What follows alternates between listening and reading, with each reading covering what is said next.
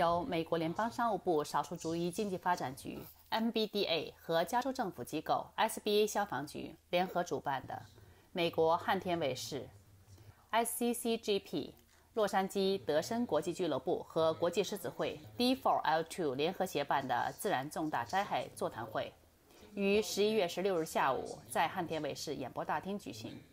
我们希望通过这个讲座，让大家呃认识到，我们比如说在家里要备一些水呀，备一些药啊，啊，备一些呃紧急情况下生存的这些呃这些东西，保证我们的生命啊。我们这个减震防灾，我们在建筑上通常都叫做这个生命线工程。我们希希望啊，通过这个讲座，让大家具备这个常识，啊，更好。呃，更好的保护自己啊，包括财产，包括生命。常常会发生加州的大地震跟火灾，当它发生的时候，你要如何先自救？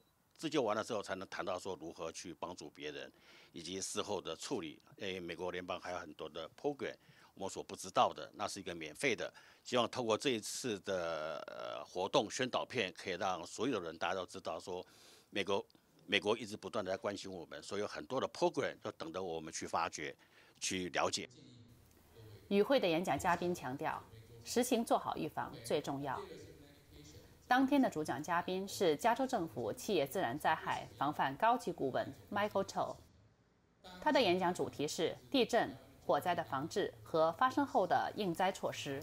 Not rely on emergency responders to be able to take care of all your needs. They'll be there. They'll do the very best job that they can protecting life and property. but you need to be part of that equation. in order to be successful, you need to be able to have uh, a, a, mindset that prepares you for what comes our way, as well as the, the logistics, the supplies to be able to sustain yourself and your family over a period of time. 他表示，地震和火灾是最常发生在加州的自然灾害。相信前段时间该地大火的情形，大家还历历在目。据美国农业部森林局最新数据， 目前仍有八处地区还有火灾肆虐。二零一九年因为连发大火而造成停电，影响二十万居民和商户的正常生活与运营。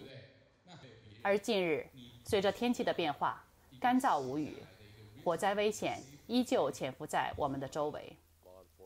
专程从北加州前来参加活动的联邦中小企业局美西地区新闻发言官 Ken Win。在座谈会上介绍了联邦及加州灾后紧急资金救援的相关政策和申请办法。他也强调，对于灾害的预防是最重要的。全美电视台记者采访报道。